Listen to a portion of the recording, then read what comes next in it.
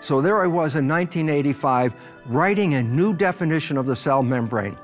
My first part of the definition is well, remember the lipids that are making up that membrane, the phospholipids? Well, they're organized into a crystalline structure. Well, it's not a crystal like quartz or diamonds. It's a flexible crystal.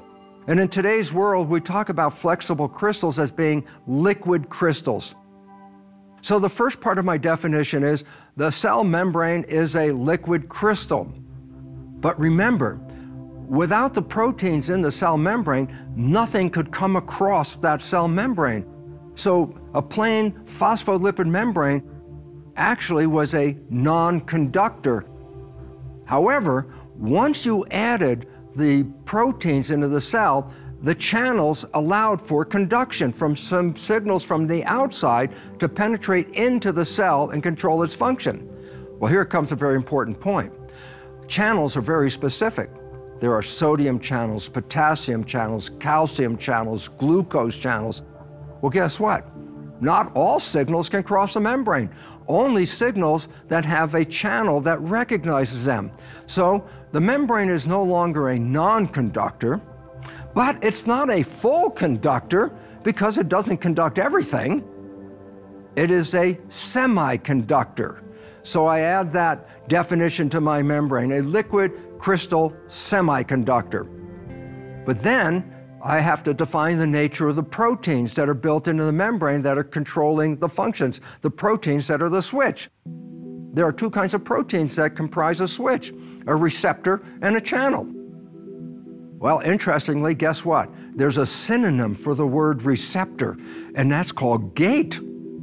So I write down, well, what kind of proteins are built into the cell membrane? Gates and channels. And then I stand back and I look at what I just wrote. And here's the definition of a cell membrane. The cell membrane is a liquid crystal semiconductor with gates and channels. I, all of a sudden I said, oh my God, I just read that definition somewhere. Where did I read that? Well, I had just bought my first Macintosh computer and I bought a book from Radio Shack, Understanding Your Microprocessor, a simpleton book on understanding how computers work. Well, immediately I opened up that book and there it was right in the introduction to the book. The definition of a computer chip is a crystal semiconductor with gates and channels. Wow, what a coincidence! The definition of the cell membrane is exactly the same definition as a silicon-based computer chip.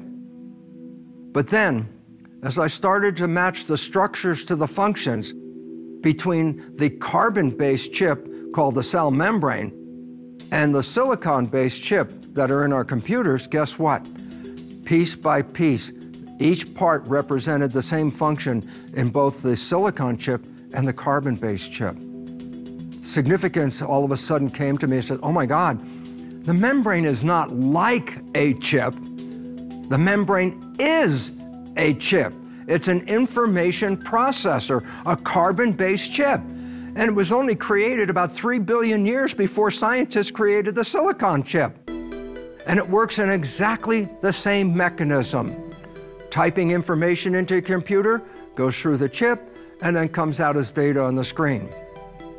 The silicon chip, that's how it works, but the carbon-based chip of the membrane does something very similar. The environment sends signals to the cell, types on the surface, and then the gate and channel switches create that function inside the cell to match what's going on in the environment. And all of a sudden it's like, oh my God, we now have an understanding of the nature of consciousness.